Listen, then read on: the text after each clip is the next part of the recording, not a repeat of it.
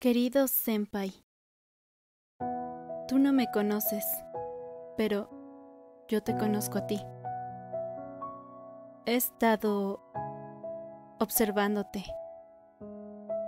Te escribo esta carta porque estoy preocupada por ti. Nuestra escuela solía ser un lugar feliz, lleno de rostros brillantes y alegres. Pero muchas cosas espeluznantes han estado pasando últimamente. Gente que ha desaparecido sin dejar rastro. O mueren misteriosamente. La policía no puede determinar qué muertes fueron accidentes y cuáles fueron asesinatos. Ya nadie se siente a salvo ahora. Todos están preocupados sintiendo que podrían ser la siguiente víctima. Y todos los que han muerto o desaparecido han estado conectados contigo de alguna forma.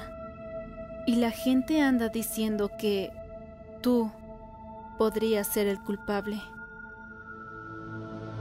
Pero yo no creo en esos rumores. Yo creo que tú eres inocente.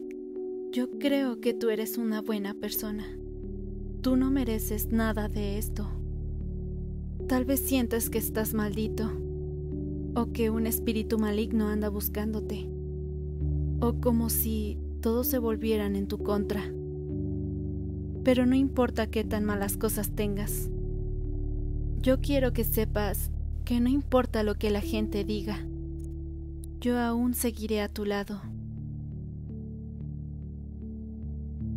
Algún día espero tener el coraje suficiente para hablar contigo y luego tal vez podamos ser amigos. O tal vez algo más.